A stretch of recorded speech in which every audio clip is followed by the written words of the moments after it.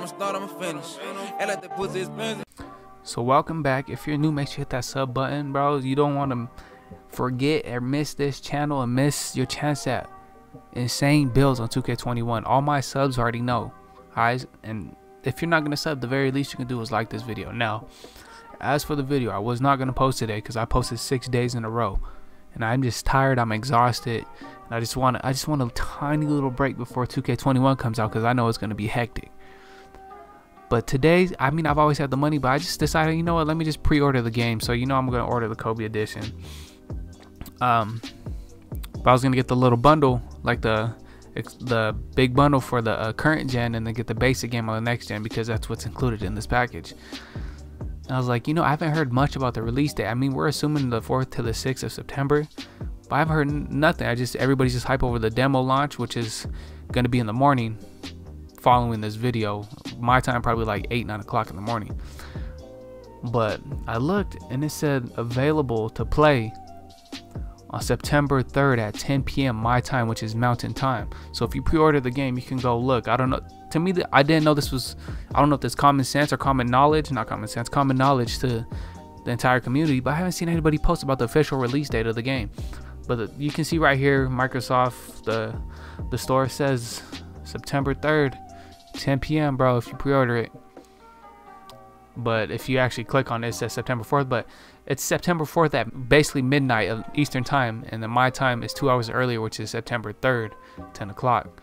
So, yeah, this is official release day. I wasn't gonna post a video today, but um, another thing I want to talk about is this is the first time the community will ever have to deal with this, the 2K community, on jumping to a new console. So we do not know what is to come. We've never dealt with this before. Playing a, a current gen game for like what two months? Was it september october? Two and a half months?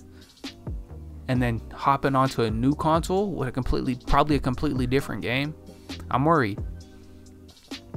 Now 2k knows they can't give us the same perk on the current gen because I, we all throwing our xboxes out the window and running them over because i'm not going to deal with the same part or the same exact everything so they have to give us something decent. But I'm hoping it ain't a lot of recycled stuff with just new, like a new like scenery.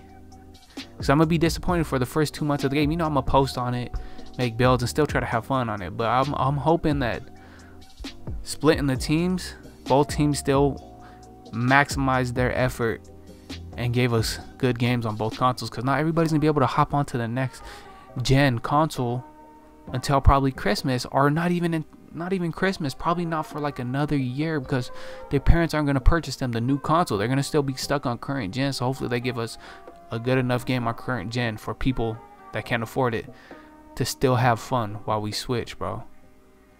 So I know all the like the head people are probably focusing on next gen because that is a big launch.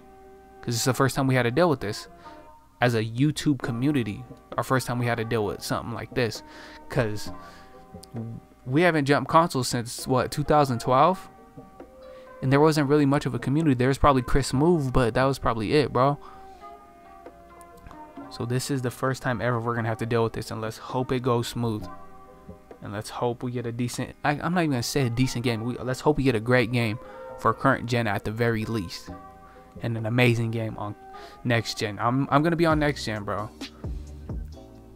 so let me know in the comments who's gonna go to next gen with me I'm gonna be on Xbox. I might get a PlayStation, depending on what uh, my friends are trying to do. But let me know what y'all getting. Y'all switching to next gen right away. Have you pre-ordered your game? What y'all gonna make? Like, sub if you want to. Until probably tomorrow morning. I'm gonna drop. A, I'm gonna probably drop three videos a day. But until tomorrow, I'm out.